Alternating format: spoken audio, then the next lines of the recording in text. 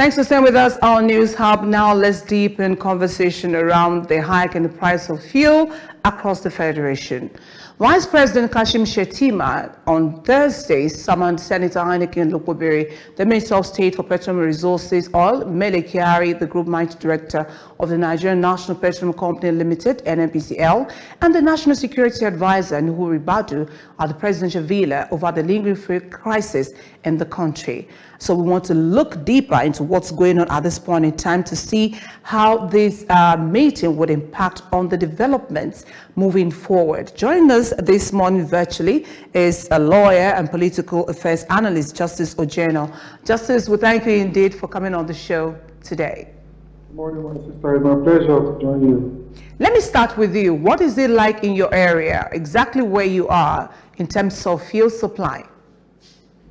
It's it's very very bad. I still visited the station this morning. To now you have to be an emergency friend with uh, station managers and pump uh, sellers. Even though we know that we didn't see products so you have to have their contacts and ask them the likely time where they will be supplied, so that you go and probably queue as early as possible. It's that shameful. Something that's supposed to be a product that everybody is supposed to freely have access to in a country like uh, so that's the unfortunate thing. And the last time I, bought, which was about two, three days ago, bought for 980 in Lagos State, Nigeria.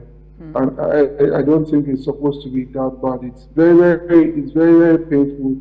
And this, I don't think that this should still be a problem. I, you know, in the, this world of social media, I tend to see some things that have happened uh, decades and decades back. I saw that it, it was also a political promise more than 40 years ago that uh, fuel queues would be a thing of the past. And unfortunately, it is still a thing of the present and probably it's going to be a thing of, of, the future because it looks like our politicians, they don't, they don't learn anything. Let's talk about it. It seems as if to say you have issues with the political will to do what some would tend to be the right thing. Uh, for the vice president to have summoned a meeting like that, everybody knew that it must have been at the instance of President Bola Tinubu. Uh, no official statement had come out uh, really to let us know what's going on. But let's take this report. Uh, Justice, we're back to talk about this more. Remember, you can also join on our social media handles. We're streaming live right now on YouTube, on Silverbird N24, and other social media platforms. So let's take a listen to what transpired on Thursday.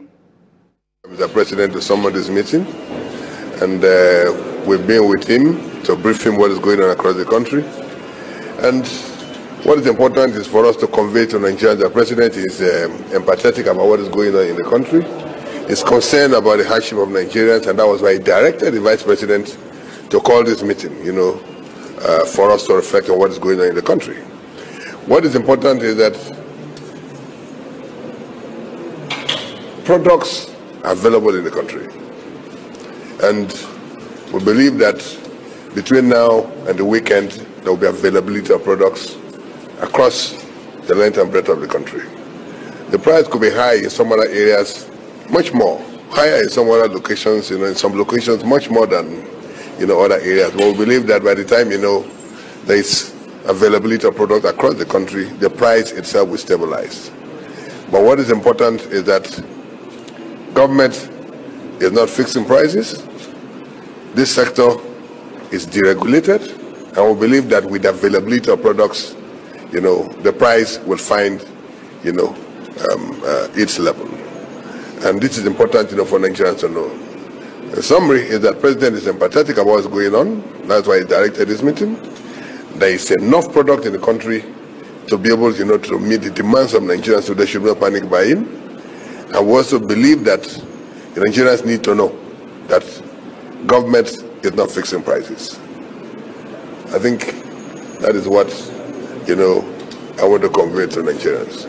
All regulatory efforts are now geared towards um, stabilizing supply uh, with the resultant impact that it will be positive also on the stability of price. Uh, to that objective, the regulator is um, uh, ensured that there's increased operating hours from all loading depots Um, vessels are being cleared promptly and um, extended hours where safety can permit for truck outs as well. Um, more importantly also is the reinforcement of the support being given to local refiners because with increased production from them, uh, we indeed, like the minister has said, well, there will be higher sup uh, supply, which will stabilize the price. All right, uh, thank you so much uh, for staying with us on the show. Now you just heard the stakeholders talking about uh, the things to look forward to over the weekend. We heard the Minister of State uh, as well as uh, the uh, minister, the group NN, group GMD of NNPCL really talking. Justice, let's talk about the three things that personally I took away from that. Maybe you took more. One would be that there is enough products in the country to satisfy the yearnings of the populace is an irony we're queuing up. That's one. The second one is the availability of these, even when Dangote starts to really out the finished product, PMS, so to speak, will now determine the price that will be able to be right for us perhaps competitively uh, so that when you get to a particular fueling station, maybe they have a better price to stick with them. The third one is because the government has said, don't you worry, over the weekend we'll solve this. You don't need to stockpile fuel in your house. Where do you want to start from? Okay, for, me, I, feel that um, it's unfortunate that we have these kind of situations. And it reminds me of what Wole Soyinka famously wrote in his book, Abiku, uh, coming and going these several seasons. Maybe it's a book or a poem or something. So uh, we shouldn't have a situation where you are you are telling us that by the weekend, and this by the weekend statement is not new to, to Mr. Heineken.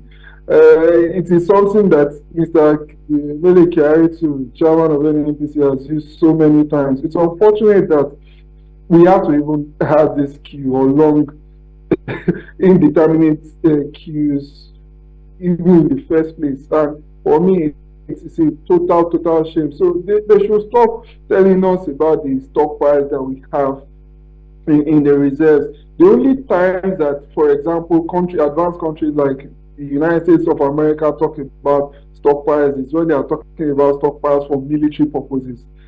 We should never ever get to a situation where we are, where see, the situation is so bad in some some parts of the country. Sometimes I mean, I'm largely a Lagos-based person, but every time I visited Abuja for the past two or three years, I, I just, I just, it, it, I feel so much things that, and the NNPC, the NNPC uh, office, head office is, is guarded as a fortress. And for the past two, three years, there has not been any form of stable supply, not even a semblance of it in, in, in, in the capital city.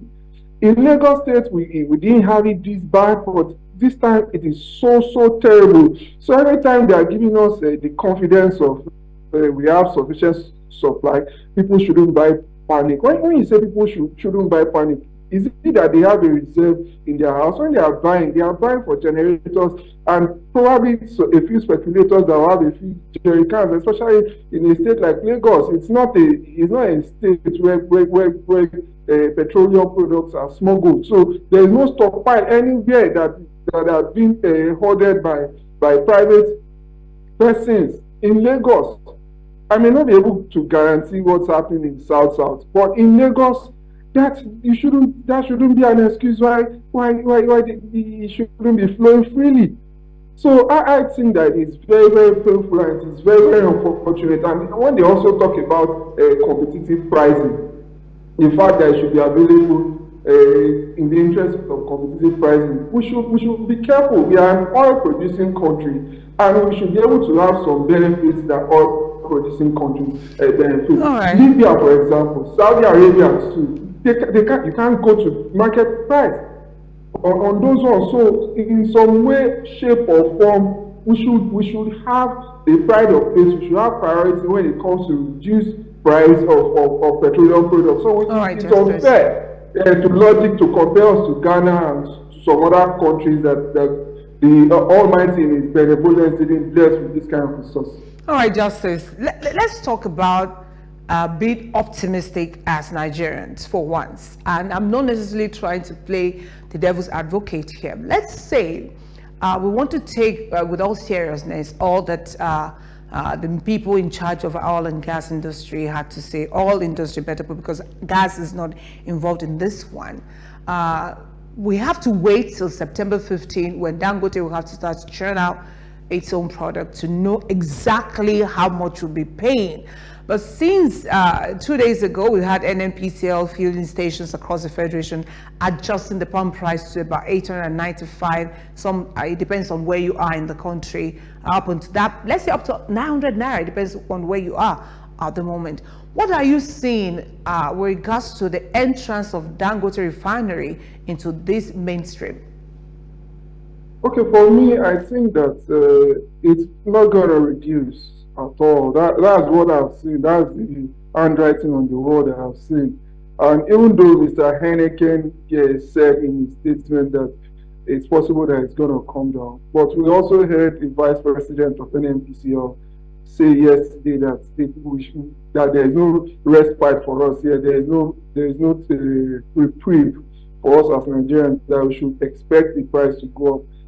Uh, it points to another issue that we're having in this industry where people just go to town. Anybody that has any office just goes to town and says whatever he wants to say.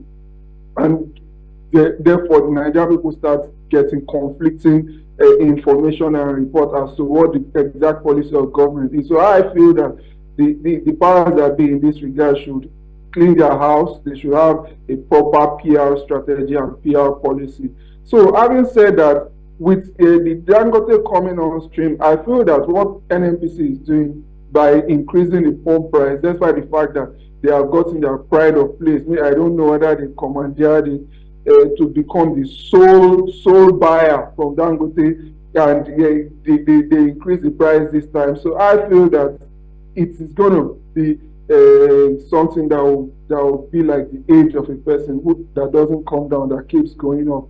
So that, that's what I feel is going to be. So the coming, the entrance of Dangote into the field is not, is not going to bring respite as to the pump price of petroleum products in Nigeria, but it may bring a respite as to as to uh, the, the, use of our forex, which is also which is also tied to the to the pump price, and maybe eventually, if Nigeria, if the naira gains strength, yeah, I pray that this makes the naira gain significant strength enough to actually bring the price down. But as to the exact amount in dollar coming down, the equivalent in dollar coming down, I don't see that happening in any in any short term. Okay, all right.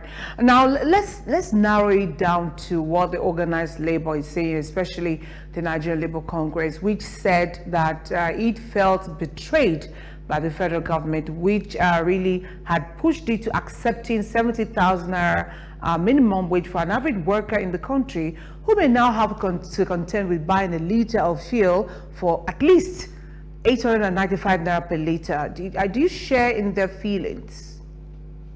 Okay, ordinarily I would have just said an express yes, and I would have said yeah, I really share in their feelings, but so far from the pulse I've, I've observed on the streets and from talking to people, I feel that Labour has lost its momentum. The Labour leaders they have lost their momentum. There's there's credibility crisis. There's bankruptcy of, of confidence on, on the on the fact and the role of, of Labour when it comes to uh, assuaging the pains of the people by actually being one of the only powers available to hold the executive government, executive arm of government accountable because it's unfortunate that we do not have a legislature as a, as a legislature normally is supposed to be. But uh, now we expected Labour to, to fight for the people, but they, have lost it, especially in recent times. So I, I, even though I share in their pains, I, for a lot of people just feel that they are, they are paying lip service to to, to, to it and they may not be able to go the entire hall and hold the government. The government won't even probably even bother. We saw that there was a protest, especially in recent times, and they chose not to. It would have been a, an easy one for them to, to ride on, but they chose not. They chose to stay uh, outside outside of it. So them coming now to say what they are saying, I don't think it will hold so much water. I don't think the government will give will give an air the labor is not what it used to be. it's unfortunate. We, we cannot have a, another Oshiomhole in, in the circumstances that we had him at the time where he was practically a, a rival president and held the president of the time accountable, but it looks like they've been seriously, seriously watered down. All right, Justice, we're going about, we have to leave in about two minutes. Uh, in all of these, when you listen to the arguments of the, uh, the NNPCL and other stakeholders who are saying that even at 617 naira, we cannot sustain buying a liter of fuel at that price because uh, it is not going to be profitable to those who deal in, in, in this particular one. What are you looking at? Uh, I mean, dispassionately, talking about the business angle to it. Uh, what do you, how much do you think this would end up being sold for? I don't know what you're seeing. I'm trying to think about it in my head and I'm getting prepared for it. I don't know about you. Okay, for me, I think that this is a government and we cannot uh, go into the laissez-faire mode of running things. Laissez-faire mode of running things is when you feel that we are ripe enough for the market to just run itself, for the market and the greed of profiteers to just be what will what will what will run the market. No, I do not agree with that. So I, why the fact that I, I, I don't have of course, a lot of people are saying 1,800, 1,700, 2,500, and that's the standard market price. But do we have a society that have a pocket that is deep enough to be able to afford it? Will we not go into crisis if we, if we push the lever up to that level. Those are some things that we have to sit down and tell ourselves the truth about. The Nigerian people have been pushed and pushed and pushed, and with this recent increase again, is another push. So we can't we can't talk about market forces. We can't leave it to market forces. We are not ripe for for uh, something as uh, as rudimentary and elementary and as basic and as not a lifeline to practically the economy to be to be deregulated in the in the in the in the way and manner that the, the government is saying that they want to push it to. So I feel that we are not ready for that. Okay. Thank you indeed, Justice Ojieno, a lawyer and political affairs analyst. So thank you for being part of the program today. My pleasure. Well, children will be resuming uh, school on Monday and parents, guardians, everyone who's involved uh, is wondering how they will cope, especially for kids that will have to move uh, from one part of where they live to another to get their education. Uh, there are reports that parents are considering moving their children and wards to schools very close to them, regardless of the quality the, the children could get from there. Uh, so many other austerity measures the families are beginning to put into how they can live their lives as we deal with the price of fuel moving forward. Uh, should we take seriously all the promises made by President Bola Tinubu that the price would go down? Take it easier for Kompale. We will bring it down. Should we still stand upon that mandate? Maybe one of the questions that the president needs to answer in no distant time. This is Watching News Hub. Let's switch gears now and talk about the need for us in the midst of all the issues we have to contend with as a nation, the need for us to still work together and build the nation. Just stay with us.